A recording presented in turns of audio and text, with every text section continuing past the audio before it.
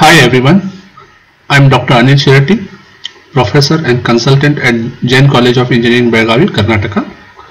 So today we'll start with the session 5 of Computer Numerical Control module. So till now we have saw introduction of CNC, what are the different components of CNC, then we saw uh, the basic G codes, M code used for the CNC machines, okay, and then we also saw how you calculate feed rate, okay, uh, and other stuffs. Then we saw what is the importance of cutter compensation, okay, so that we saw cutter compensation already. Now in today's class we will start with the program. So we will start first with the milling program and then maybe in the future class we will go to the turning part. So let's start. So in today's part uh, lectures I will be solving one problem that is on the milling uh, drilling on the milling machine okay? And then one more problem which will be a uh, milling operation and then use of IJK commands. So see this is a simple problem. So what the problem say? Write the part program for 10 mm drill operation at four location on the milling machine on the workpiece shown so workpiece is around uh, they have given rough dimensions. So you can see they have given this is 80 then you this one you have to calculate 20 there is a distance between the two holes. It is 40 so this remaining is again 20 this is 20 again 40 the remaining is 20 this is 40 the depth is or of the workpiece is 10 millimeter. So the first step what you have to do before start of the actual program is get the coordinate systems okay? So first we have to define the coordinates. So in this case whatever the color you are seeing I have defined this as my 0 0 okay? So this is x axis this is y and the depth with respect to the screen is the z axis okay? So anything going from this point this side is positive x this side negative x this side positive y this side positive uh, negative y anything inside the workpiece is minus z above the workpiece is plus z. So you can see I have given the dimensions. So this is absolute dimensions. So what do you mean by absolute dimensions? Everything is defined from this 0 0 so you can see this hole is at a distance x0 and y0 y20 next this hole is at a distance x60 y20 this hole is at a distance x20 y60 this hole is at a distance x60 y60 so first we have to define all the coordinates of the all the major points here. Okay. So let's start with the program. So I'll keep right side the rough diagram. Okay. So first line will be O followed by some number so what is O? O is nothing but that is the name of the program we are giving or number of the program. So this program is 101 okay. then we'll start with first line. This n0 is first line or you can say first block. Okay. Then it is followed by G21 so what is G21 G21 whatever the inputs are happening these inputs are in millimeter. For example this 60 whatever I'll enter that is in 60 millimeter then G90 G90 is nothing but absolute coordinate system. So first suppose I define this X and if I'm next I'm defining X is 60 that means from origin it is 60 not from this point. If I'm giving from this point that is the incremental. So in this case I am using absolute coordinate system. Next is G92 so what is G92 it is a specific location of coordinate axis system origin related to starting location of the cutting tool.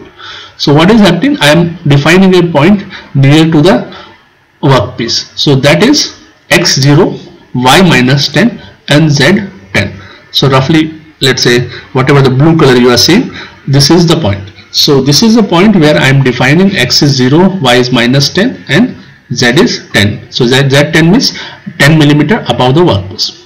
So let's first start the part. So what is happening?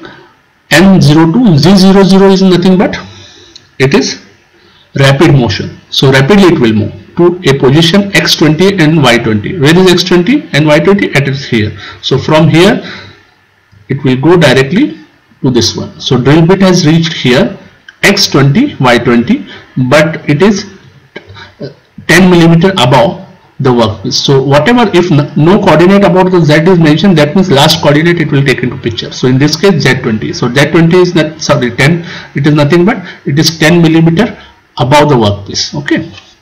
So it has come from here to here.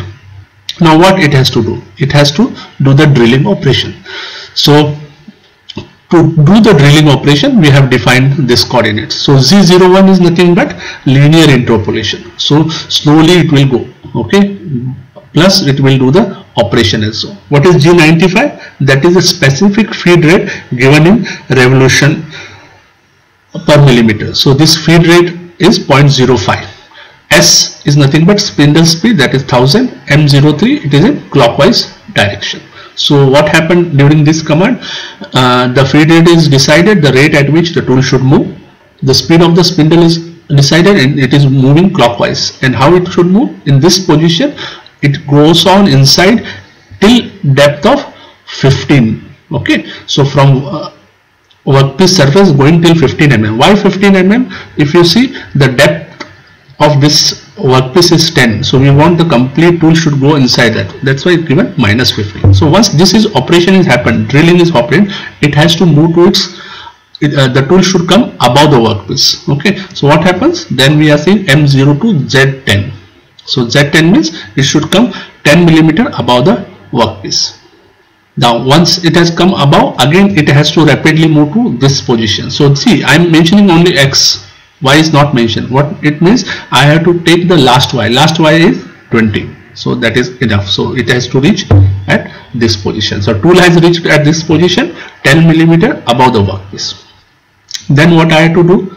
I had to do now start the drilling operation. So you can see I am mentioning 01 and then I have given the feed rate and other things okay? So z minus 15 again I go depth 15 drill it. After drilling again I have to come up that is z01 z10 so you can see like this two operation is happened. So similarly I have to repeat for this two also. So what happens from here to I have to move here now in this case only y is changing. X is not changing. So I have to define only y. If we again defining x also it is fine no problem. But if you see here g00 that is it should rapidly move to this position. So once it is reached what the next step? It has to do the drilling operation till 15 so again g15 now in this step i'm every time mentioning g95 okay? Uh, it is not compulsory. If you don't mention also it is fine. Because then in that case it will take the feed rate from the last command so similarly uh, does the operation drilling operation at this point and then comes out at a distance 10 millimeter above. Again goes to this position. So see in this position I'm putting x20 y60 okay? So it is reaches again do the drilling operation completely okay? Then next come out okay? And then it goes to some position. That is after this operation is over it will come here and stop the machine completely. So M05 spindle will stop, M30 is end of the program. Okay. So I'll just repeat once. First I'll reach here, go at this position, tool some 10 millimeter above the workpiece. That is this command. Okay. And then I'll do the drilling operation till 15 mm depth so that complete workpiece uh, we get a proper uh, hole and then I will come out again 10 mm above the workpiece, move rapidly at this position, do the drilling operation, come up 10 millimeter above, again do the rapid movement, do the drilling motion, come up, do go here, go the drilling motion, come up and then reach to the original position. So this is how a simple drilling operation is done on a milling machine. Now let's take a next example. So what is the next example? Write a part program for milling operation on workpiece shown. So you can see this is a workpiece. So let's start with this one. So this is 50 mm straight. Then there is a taper of 10 mm straight 20. Again there is a circular of radius 10 straight then circular and then again straight. So like this operation the milling operation has to be performed along this side of the workpiece so let's see so what was the first step define the coordinates. So here you can see in the last they have given just the dimensions. So we have to define the coordinates. So first we we have to define my zero of on the workpiece then define with respect to that zero what are the coordinates at main point. So this is my one of the main points 50 50 this is 60 10 60 30 50 40 10 40 0 30 so all the important coordinates I have defined on the workpiece. Now let's start the program. So first step as usual z102 that is the name of the program. Okay. Now let's start with n01 n0 is nothing but the block is started or the line is started g71 that is metric system everything entered is in millimeter metric system g92 absolute coordinate system and this g94 is nothing but feed rate is given in millimeter per minute. Then go. So what I am doing is I am moving rapidly at x minus 20 y0 so where is x0 and y0 x0 and x is minus 20 so what happens? Somewhere here the workpiece comes into picture. Okay? And this is 10 millimeter above. Next step I have to go define G01 G42 so what is G42 this is the cutter compensation. Okay? What is the cutter? Diameter in this case 20 millimeter. Okay? That is the diameter of the cutter. Compensation is given. Then I have defined at this point it should go 10 millimeter down. Okay? And speed is 1000 rpm and feed rate is 200 revolutions millimeter per minute. And the spindle should on in clockwise direction.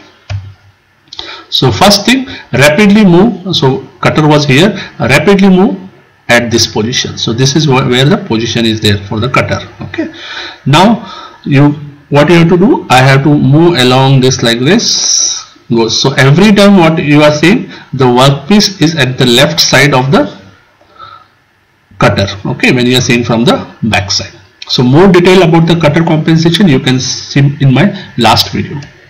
So first thing I have to move G01 so what is G01 it is inter linear interpolation I have to move straight so y is not changing, y is 0 only, x is 50. So I have to go on milling in a continuous straight line from 0 to 50. So that is done by this command.